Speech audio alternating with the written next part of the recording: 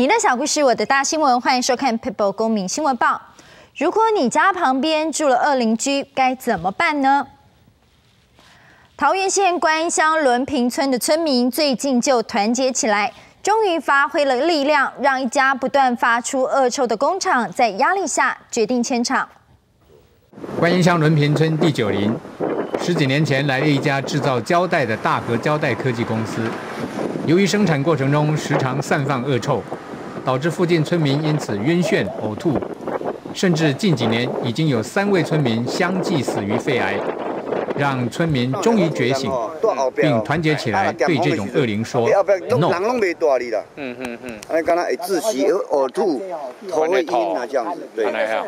那没有风的时候，南风的时候放往这边过来。南风的时候放往这。当初我们买这房子就是说，啊，这旷旷野很好，空气也很好，这窗户都不能开。地下工厂滚出去！太阳到了，滚出去！在村里长及热心人士几年来的通报、陈情、多管齐下的努力之下，十二月三日上午十点，县府各级处到场联合会勘，由环保局稽查员担任协调工作。业者在官员明代和愤怒的群众面前，终于承诺将于明年三月底停工关厂。不过，公民记者告诉我们说，这一家产生恶臭的工厂虽然搬离了伦平村，但据说只是要搬到隔壁乡的某个村，恐怕公害问题只是换个地方继续上演。但环境污染可不能够只看一时，像在嘉义的牛稠溪，多年前掩埋在河岸边的垃圾，因为被台风吹袭，原本埋在里层的垃圾外露了出来，让参与河川巡守的小志工忍不住对政府发出质疑。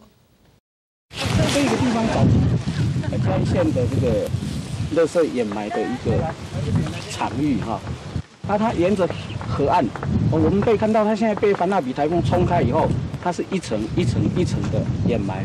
换句话说，它每埋大概一定厚度的时候，就会上面会铺什么土对不对？沙子或土，好，然后再铺，再往上铺铺什么？铺垃圾。所以它就像三明治，有没有？一层一层一层的往上铺，牛稠溪这边感觉上好像被田根植草覆盖了，好像都恢复原先所谓的自然的一个形态。但是当风灾来之后，冲开以后，哎，没有，我们可以发现里面是什么？很多根本就是一百年后还没有办法腐烂的东西。第一个念头是政府在干嘛？什么都没有清，然后就算建的焚化炉也是，就是把垃圾扔在那边，这样感觉很不负责任。影响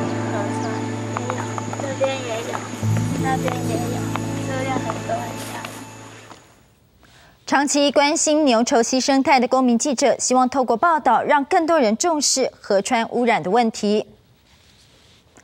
地方环境的问题，你可以置之不理，但还是可以选择有所行动来改善。环境是所有人共有的，只有付出行动，才有变好的可能。希望你也能够加入公民记者的行列，用镜头来守护环境。配报公民新闻报，我们下次见。Thank you.